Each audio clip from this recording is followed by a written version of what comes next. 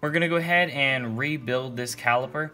To get the piston out, I'm just, I have everything still hooked up so I can just press the brake pedal and the piston will pop out, it'll push, and then the whole thing will disconnect. Now I'll just press the brake pedal until the piston pops out.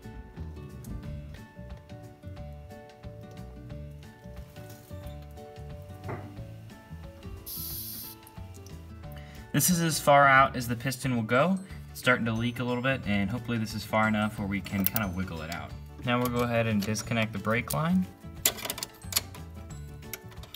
Once we get this out, I do want to cap it just to make sure that we don't drain the entire master cylinder because if we drain the entire master cylinder out of brake fluid, we could get air introduced into the system. I've got a piece of wood that I use just to plug this hole.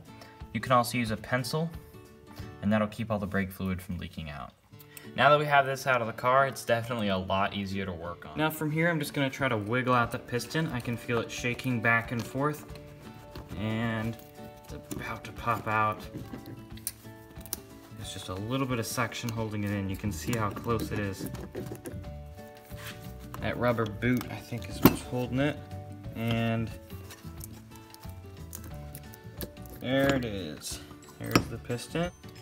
Let's go ahead and take out the banjo bolt and the caliper hose. We have a new hose here and an old hose. I'm gonna take the old hose and just take this wire here, carefully run it through, just to feel if there's any blockages in the hose. Carefully take it through, we don't wanna puncture the side. We actually have it um, sanded down just to make sure that tip won't hurt anything and it just flowed through real easy. And pull it back through and just kind of as a control group I'm gonna test it on the new one as well. And that flows through about the same. The hose is not the problem and if you look at the piston here I can definitely tell there's just a bunch of dirt on it.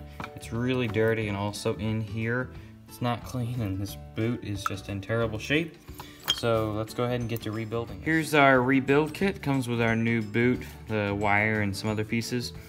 This was like $2.50 compared to like 35 or even 85 if you get your new caliper locally. So it's a pretty good price compared to the caliper. Now we can go ahead and take out this wire. It's the thing that's holding all this rubber boot in. You can tell that this one's not in too great shape. That's why we have a new one. Now this rubber boot should come out a bit easier. Now I'm just working this rubber boot out and finally got it to start to come out now. And there it is, the rubber boot, which is not in very good shape. Now we'll just go ahead and scrape some of this scale off, get the major stuff off, and then we'll get the rest with the wire wheel. And we'll go ahead and clean up the piston.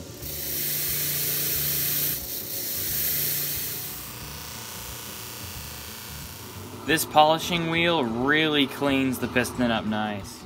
Now all we need to do is clean up the inside of the caliper there. I have everything else cleaned up. We have all the major scale cleaned off of the caliper. You can see it's kind of shiny. Clean that up on the wire wheel.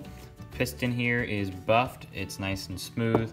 That is looking really nice. And then we have our parts for our rebuild kit right here. Here's the old seal in here. I'm gonna go ahead and take this out and I'll set it right above the new one and this is what we're gonna replace it with. Then we're gonna take this pick and get in there and make sure we scrape the edges make sure there's no crud in there make sure everything is very clean and then we're also probably gonna take a toothbrush and really scrub the inside of the cylinder here now I'm gonna take some kerosene and with a toothbrush scrub that around in there I want to make sure it's everywhere and then I'm also going to go in here with a piece of Scotch-Brite just to really clean everything up. Now I'm just cleaning the inside here with Scotch-Brite, making sure we're getting all the crud out. And if you look in there, it is much, much cleaner. I'm gonna take that toothbrush in there again and just make sure I got everything out. We'll be using DOT 3 brake fluid as a lubricant. I'll pour a little bit into a smaller container here. We're gonna put this new seal in. I'm just gonna kind of dip it in the brake fluid just to get that lubricant on it. Now we'll go ahead and put this seal in place Might be a little tricky to get it to go in. I got the seal to go in real easy actually. It wasn't very hard. I just kind of squeezed it, moved it in, and maneuvered it around. And I got it to fit in there actually pretty easy. This new rubber seal here slides over the new piston. You want to be careful here with the new rubber seal and just carefully work it around the piston, just like that. This edge right here on the rubber boot is gonna slide in right here, up and around on the caliper. So we're gonna go ahead and push this in. Now we're gonna slide this in, and it definitely slides a lot easier now. I can just feel it slide right in place. It definitely wasn't that easy to get out. With a wooden stick or with your fingernails, you can slowly push this boot into place on the caliper. You definitely do not want to use metal and just slowly work it around. You do not want to puncture the rubber boot in any way. I took a little dowel rod and flattened the end of it so it's kind of like a flathead screwdriver and I'm just using that to push this into its final place.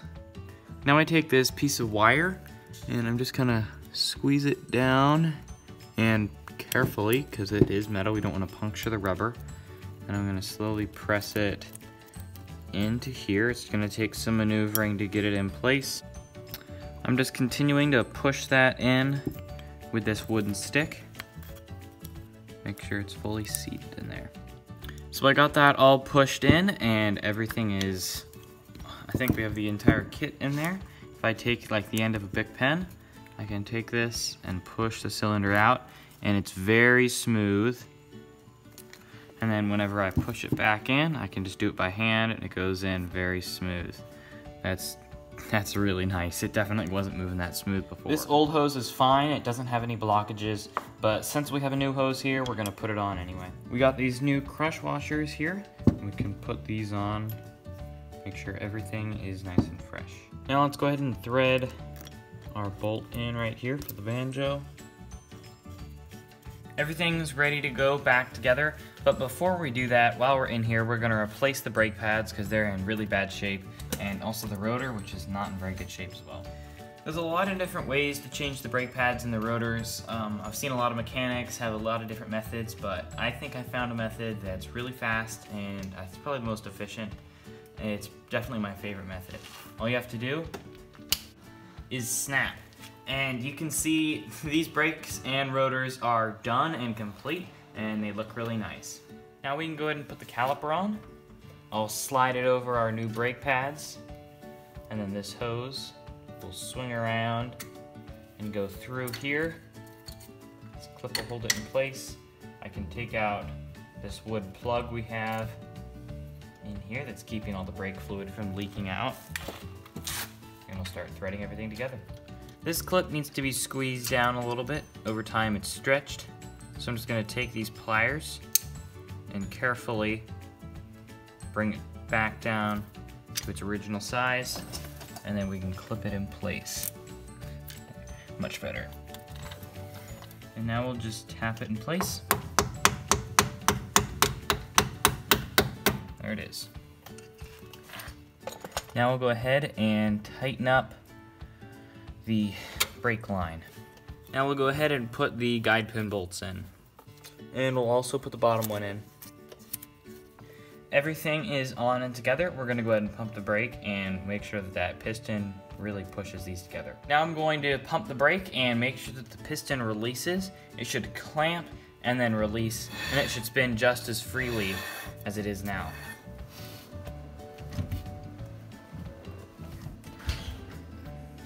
And the piston release just like it should, and this spins nice and free after I just pump the brakes. Way better than what it was doing before. We'd pump the brakes and it would be so tight I could just barely spin this. I can spin it no problem right now. And now we can go ahead and bleed the brakes. That's how you do a rebuild kit on a caliper. It was a little bit more work, but for $2.50, I'd say it's worth it.